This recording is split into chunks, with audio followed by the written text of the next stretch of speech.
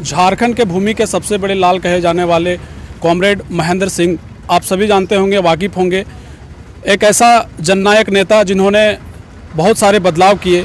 16 जनवरी को एक शहादत दिवस मनाया जाएगा, जहाँ माले के तमाम लोग आज यहाँ पे एक रैली निकाल रहे हैं।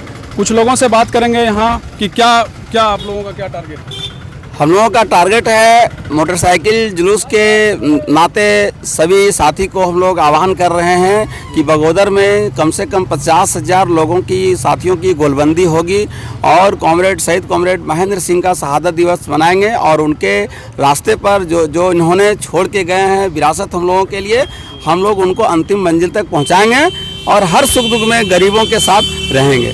लाल सर जी। आप बताएँगे कुछ कम्युनिस्ट विचारधारा जो है, कहीं ना कहीं देश को परिवर्तित करने वाली विचारधारा रही है। लेकिन कहीं ना कहीं गिरिडीह ज़िले के अंतर्गत ऐसा कुछ नहीं देखा गया है।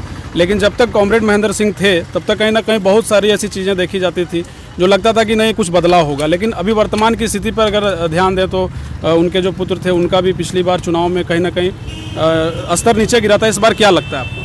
देखिए, जहाँ तक बात बोले कम्युनिस्ट का तो वो तो आज भी जनता के साथ, जब भी किसी भी तरह की समस्या हुई है तो भाकपा माले हमेशा जनता के साथ खड़ी रही है।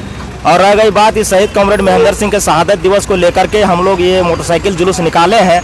और खास करके देश तक हम लोग ये संदेश पहुंचाना चाहते हैं कि चाहे तुम लाख गठबंधन दिल्ली में बैठ के बना लो, लेकिन कोडरमा की जो जनता है, उस कोडरमा की जनता का गठबंधन भाकपा माले के साथ है। और शहीद कॉमरेड महेंद्र सिंह का जो संघर्षों का रास्ता रहा है। और गिरिडीह ज़िले, खास करके पूरी झारखंड में, एक अपनी पहचान रखी है। संघर्षों का रास्ता, उसके तहत हम लोग चल करके गरीबों के हक और अधिकार के लिए हमेशा लड़ाई लड़ेंगे।